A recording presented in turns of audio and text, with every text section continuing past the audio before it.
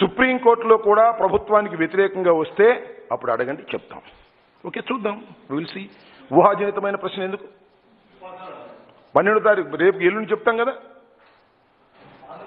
నేను ఒక మాట చెబుతాను అన్నిటికన్నా మించింది సుప్రీంకోర్టు సుప్రీంకోర్టులో వాదనలు ప్రతివాదనలు అయిపోయిన తర్వాత ఏం జరుగుతుందో అప్పుడు ఖచ్చితంగా చూద్దాం. సుప్రీంకోర్టు నిర్ణయాలు చేసినప్పుడు కాదనడానికి ఎవరికి హక్కు లేదే. పవన్ కళ్యాణ్ గారా? ఆయన కూడా మాట్లాడారు. ఓకే నేనేంటంటే పుట్టినరోజు పండుగలు చేసుకుంటారు లేదా బహిరంగ సభలు పెట్టుకుంటారు. దర్ ఇస్ అన్ ఆప్షన్ నా ఇష్టం with the permission of the government with the permission of the local authorities నేను సమావేశం పెట్టుకుంటానండి. సమావేశం పెట్టుకుంటే వచ్చేవాళ్ళు వస్తారు లేని వాళ్ళు రారు. కానీ ఎన్నికలు ఎలా కాదే? ఎన్నికలు ఇస్ నాట్ ఎన్ ఆప్షన్ ఎన్నికలకు ప్రతి పౌరుడు కూడా ఎన్నికలకు వెళ్ళాలి ఓటు వెయ్యాలి అమ్మో నాకు కోవిడ్ ఉందని భయపడి కూర్చోడానికి వీల్లేదు. నేను పుట్టినరోజు పండుగ చేసుకున్నాను. అంగరంగ వైభవంగా చేసుకున్నాను. మిమ్మల్ని పిలుస్తాను. అమ్మో నాకు కోవిడ్ ఉందని రారు. That's left you. ఇది అలా కాదే. ఎన్నికలంటే కోవిడ్ ఉన్నా వెళ్ళవలసిందే. అంతేకాదు ఇంకొక విషయాన్ని కూడా నిమ్మగడ్డ రమేష్ కుమార్ గారు చెప్పారు. పంతొమ్మిది నుంచి ఇరవై ఒకటి వరకు ఈ మధ్యన పద్దెనిమిదేళ్ళు నిండినటువంటి మూడు లక్షల పైసలకు ఓటర్లు ఉన్నారు. వారందరికీ వాళ్ళ ఓటు హక్కు లేదు. దానికి ఎందుకు చేస్తున్నారు? అంతమందిని ఓటు హక్కును వదిలేస్తున్నారా? తప్పు కదా? ఏం చర్యలు తీసుకుంటాడు? ఎవరు తీసుకుంటాడు? ఎలక్షన్ కమిషన్ దానికి బాధ్యత వహించాలి ఇంతవరకు ఏం చేశారు ఆయన? చర్యలు తీసుకోకుండా ఇప్పుడు తీసుకుంటున్నాడు కదా. వాళ్ళని ట్రాన్స్ఫర్ చేయండి వీళ్ళని ట్రాన్స్ఫర్ చేయండి అని ఒక మాట చెప్తాను. ఆయనదైతే ప్రాణం చంద్రబాబుదైతే ప్రాణం లోకేష్ బాబుదైతే ప్రాణం. మీదైతే ప్రాణం కాదు నాదైతే ప్రాణం కాదు ఉద్యోగులైతే ప్రాణం కాదు పోలీస్ ఆఫీస్ పోలింగ్ ఆఫీసర్లు అయితే ప్రాణం కాదు. పోలీసు వారిదైతే ప్రాణం కాదు. కానిస్టేబుల్ అయితే ప్రాణం కాదు. ఏమిటి ఆలోచన? నాకు అర్థం కాలేదు. ఏం కొంపంటుకు పోయింది? మూడు సంవత్సరాల పాటు ఎన్నికలు నిర్వహించలేని ఈ కమిషన్ మూడు మాసాల కోసం ఎందుకు ఆతృత పడుతుందో దీనిలో రహస్యం ఏంటో నేను ప్రత్యేకంగా చెప్పాలా? పరకాయ ప్రవేశం. ఇట్స్ ఓకే అంటే కోరమని తప్పలేదు.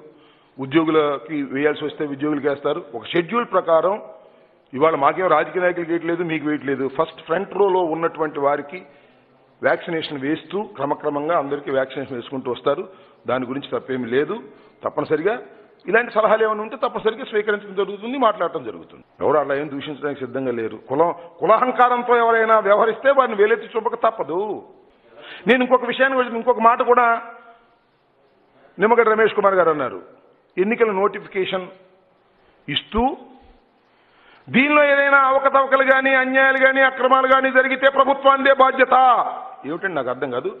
Are you threatening the government గవర్నమెంట్ని బెదిరిస్తున్నావా? గవర్నమెంట్ చాలా స్పష్టంగా చెప్పింది ప్రస్తుతం ఎన్నికలకు మేము సిద్ధంగా లేము అని చెప్పిన తర్వాత నువ్వు ఎన్నికలు పెట్టి యాక్ట్ మీ సంగతి తెలుస్తాను మీరు. దీనిలో ఏమైనా జరిగితే అంటే వాట్ డూ యూ మీన్ అంటే బెదిరిస్తున్నావు నువ్వు? ప్రభుత్వం శాశ్వతంగా ఉంటుంది. ఈ ప్రభుత్వం ఇంకా మీరిచ్చిన అధికారంతో మూడు సంవత్సరాలు ఉంటుంది తర్వాత ముప్పై సంవత్సరాలు ఉండేటటువంటి విశ్వాసాన్ని మేము పొందాం. మూడు నెలలు నువ్వు పోతున్నావు. ఏమిటి ఆతృత? పోతూ పోతూ సర్వనాశనం చేసిపోవాలనేటువంటి ప్రయత్నం రాష్ట్రాన్ని అల్లకల్లోలం చేయాలనేటువంటి ప్రయత్నంతోనే ఇవాళ నిమ్మగడ్డ రమేష్ కుమార్ గారు ప్రవర్తిస్తున్నారు. ఇది దుర్మార్గం. దీన్ని వ్యతిరేకిస్తున్నాం.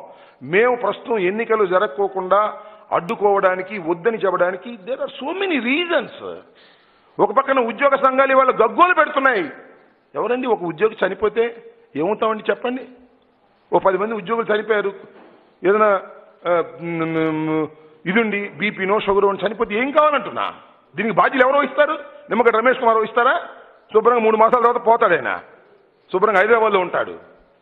బాధ్యత గల ప్రభుత్వం నిర్వహిస్తున్నటువంటి విధుల్ని ఇవాళ హైజాక్ చేయాలని కమిషన్ ద్వారా ప్రయత్నం చేస్తున్నారు. ఇది దుర్మార్గం. దీని ప్రజలు హర్షించకూడదు. ఈ వీడియో గనుక మీకు నచ్చినట్లయితే లైక్ చేయండి షేర్ చేయండి. మరిన్ని వీడియోస్ కోసం మా ఛానల్ను సబ్స్క్రైబ్ చేయండి.